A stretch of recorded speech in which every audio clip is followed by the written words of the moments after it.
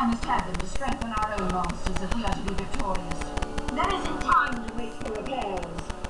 I will send one of you, my people. You will head to the surface, steal the crystals, and return them to me.